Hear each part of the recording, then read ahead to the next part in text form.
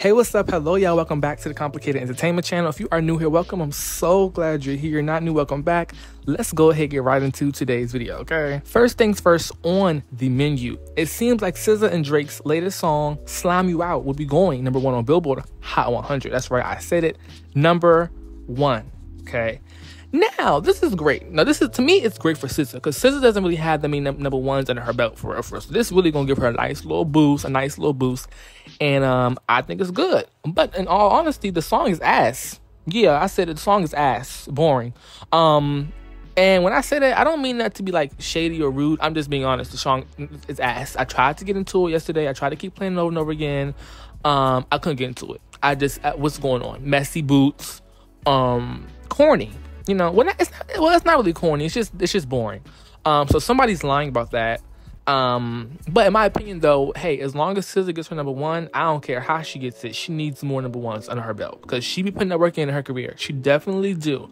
So Drake getting number one, I'm not shocked. It's Drake, so I mean, he always gets his number ones. You know, he always got that radio play on deck. But this song is getting a lot of streams, and people are really anticipating Drake's new album. So they're gonna tune into any little single he drops until his album comes out. Okay. Um, but people are saying that you know the whole Halle Berry album cover situation has not even been solved yet. Halle Berry got an inbox from Drake asking for permission, and she told him no to use her face on the cover, and he still used it anyway. Um, and she's not happy about that. So hey, it'll be so sad to see a number one song with, with your face on it without your permission. That's just crazy. Um, so we're gonna we're gonna pray for Halle Berry, okay? Um, we're gonna make sure she get her compensation. All right, the karma gonna come back real good. Let's move on to this next topic. Moving on, y'all. I want to start off with the good news first. Um, because I know a lot of blogs, and when I say blogs, I mean like mainstream media blogs, news outlets, news corporations, they aren't going to publish this at all. And the fact that Nicki Minaj has recently flew out about eight to nine barbs, female barbs, um, to go hang out with her. You know, they got, they were vibing, talking, chatting, eating. You know, just a nice little time. And people, I'm trying to tell you, they're gonna pan her out to be this bitter woman, but they don't talk about the good stuff. They don't talk about, you know, the nice stuff that's going on behind the scenes. They don't ever talk about that. But as soon as something goes wrong in a tweet or she says this or that, it's all over the headline. So I want to first let that be known. Um, yeah, that's the great thing that she did. I think that's really generous, really kind. And a lot of artists, well, no artists do that. Nobody's flying out their fans to their home um, to come chill chill with them like like their friends. Nobody's doing that, okay?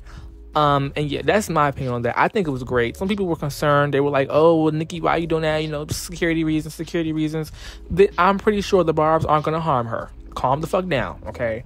Take a chill pill. You just mad you wasn't there, and it's okay. Um, now another thing I want to get into, y'all, is it seems like you know the Offset Cardi situation, all that rah rah. Yeah, Nicki is having her Nicki get Nicki is getting her licks in.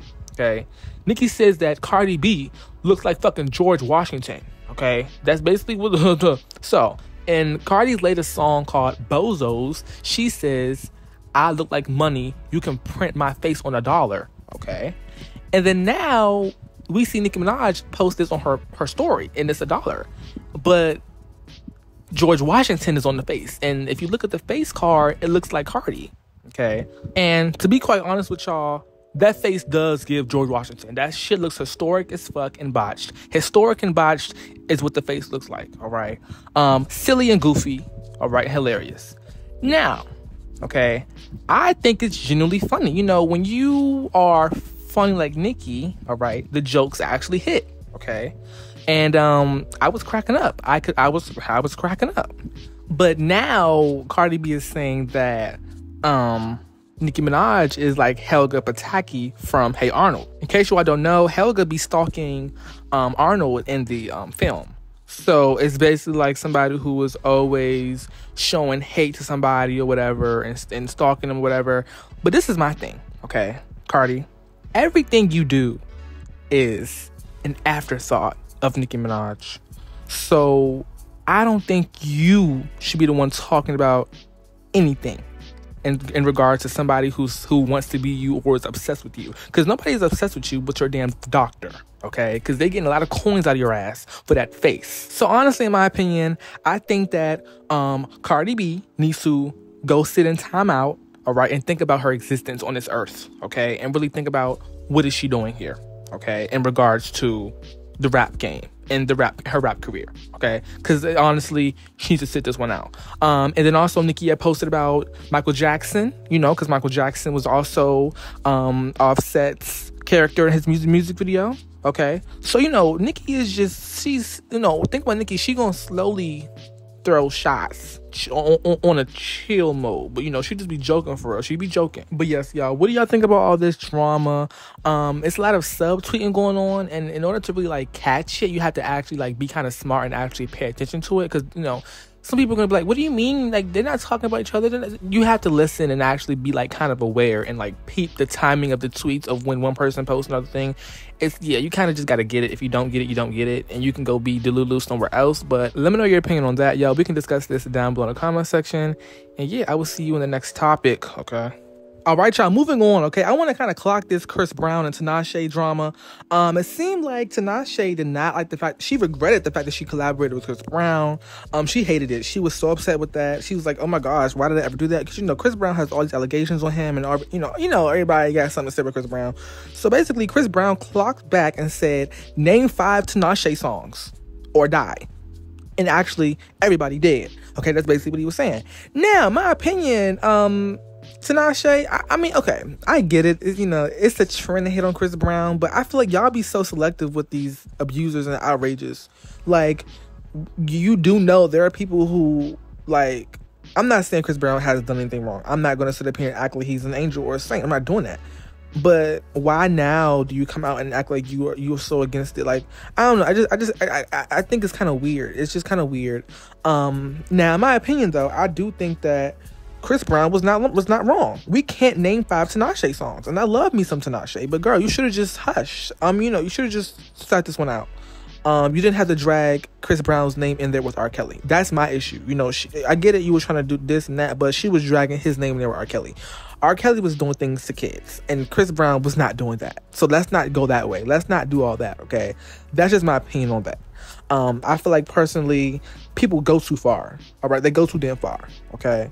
Um, yeah, that's just my opinion on that. What do you think about this? We can discuss it down below. Like I said, I'm not trying to make anybody seem like an angel or a saint. I'm just saying, let's stop with all this selective outrage. It's so much selective outrage that goes on nowadays, and it just becomes annoying.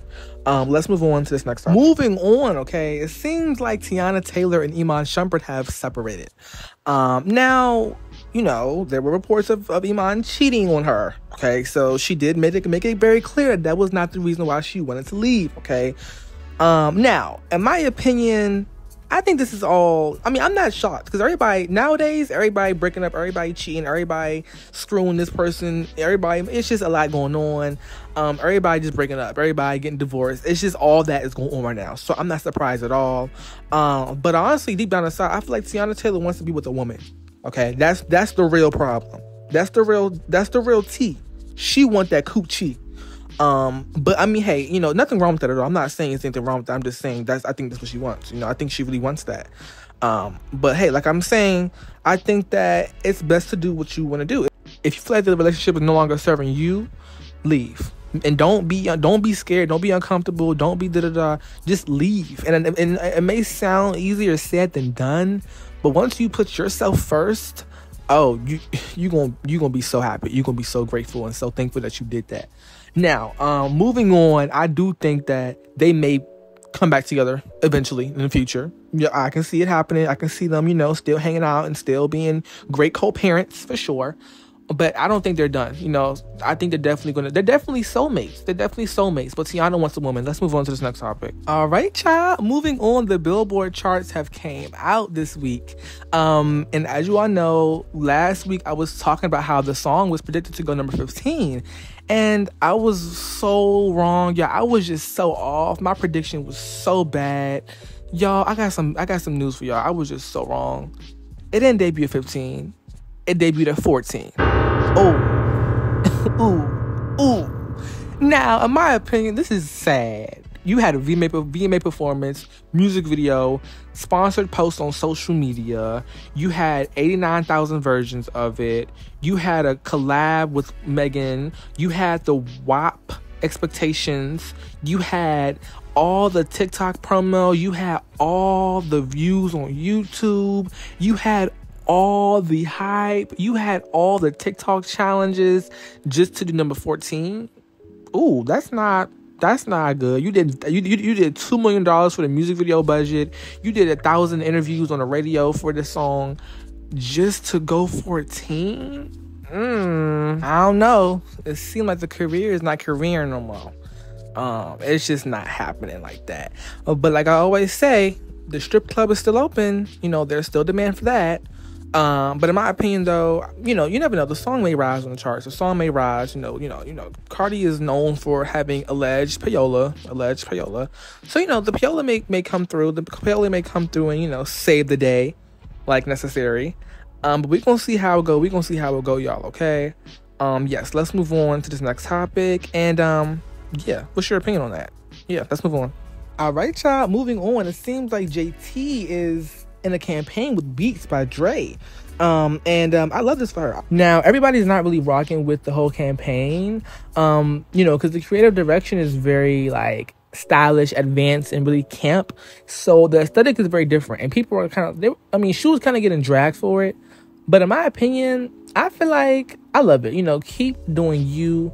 Um, a lot of black girls get clowned for being in high fashion and doing highly, highly aesthetic looks and things like that. And people are just, you know, just going on her. But I think that she should really, you know, embrace this. It's a really big moment for her. Beats by Drake collab is amazing. Um, so yeah, I love to see it. What is your opinion on this? What do you think about the looks in the picture? Um, yeah, we can discuss this down below in the comment section, and I will see y'all in the next video. Be safe.